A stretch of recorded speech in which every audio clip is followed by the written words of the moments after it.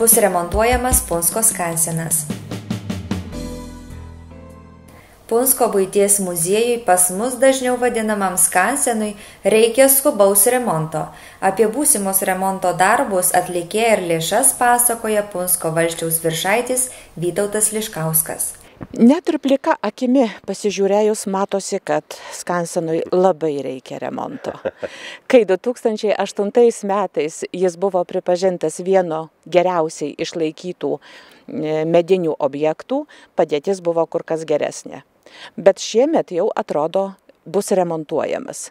Kada vyks darbai, kas juos atliks ir kokie darbai numatomi?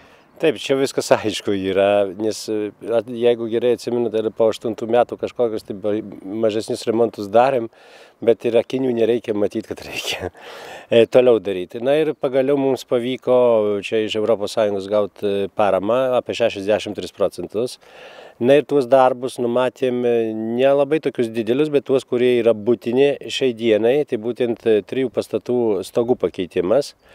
Mm, vertė visa 228 tūkstančiai zlotų ir stogų, kur turim vėl būtinai šaudais. Šaudais dėl to, kad tai yra e, paveldas ir kito, nu, ir perkelta, kaip sakant, gyvai iš Vaitekimio, tai šituos tris pastatus - namas, tvartas ir, ir svirnas turi būti padengtas šaudais. Ir čia aš, nu, ačiū Dievui, kad ES lėšos, palyginus nedidelis kaštai, bet bijau vieno dalyko, kad visi gali ilgai nelaikyti šaudai.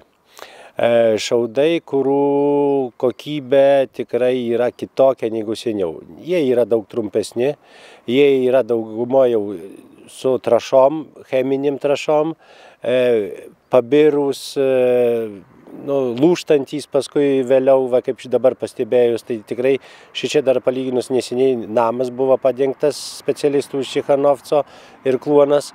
Ir jokio efekto nėra praktiškai, kelis metus palaikė.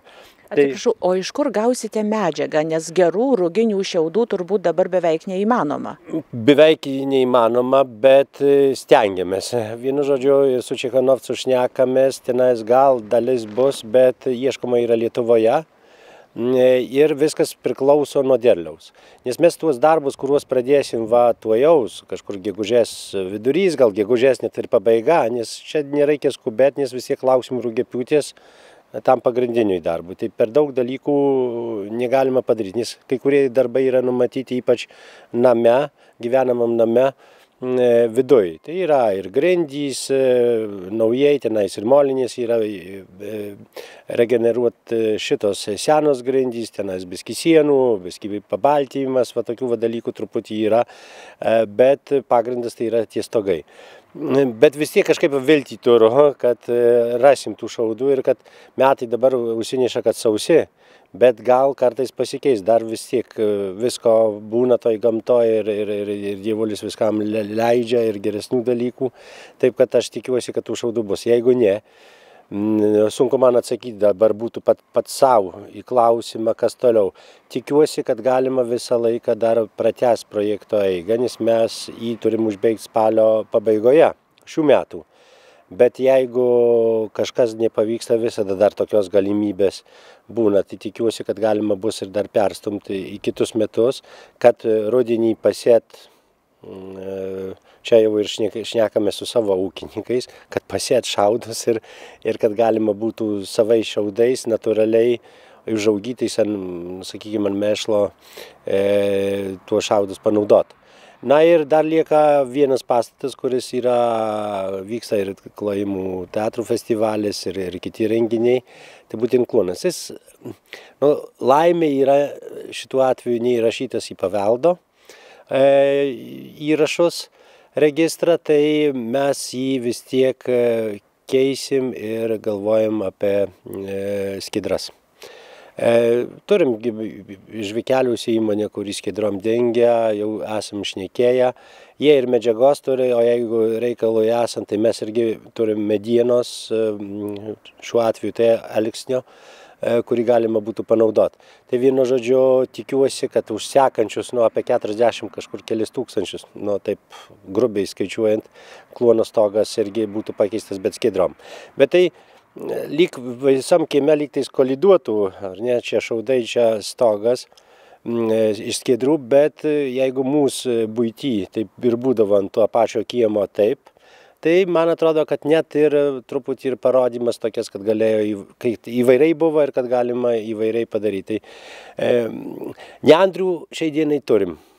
Reiškia, lengvai jos pasiekiamos. Bet nu, pas mus ne, nebuvo tradicijos neandram dengti ir šitų tradicijų, nu, ir, ir negalima jų panaudoti. Nu, dalinai gaila, nes tai yra gera statybinė medžiaga, kuri primena šaudo. Mhm. Netgum. O kitų pakaitalų skaitykim, kažkokių dirbtinių šaudų, nu, nėra. Nėra kol kas, gal atrodo, galima surasti. Kiniečiai gal daro, nes jeigu jie viską daro. E, kas laimėjo konkursą darbams atlikti? E, konkursą laimėjo, galima sakyti, vietinė įmonė, nes vadovas yra iš Lietuvos, priregistruota Punskė, o darbuotojai daugiausiai tai iš Ukrainos, tai yra firma konstruktorius, konstruktor. Na ir jį pasitvirtino mums prie dviejų jau darbų, bet tai vidaus buvo darbai. E, remontai Smalenuose keturių būtų parengimas ir, ir Punskė dviejų būtų parengimas. Na, mums gerai dėl to, kad vieninteliai, kurie norėjo šitą apsėmę daryti.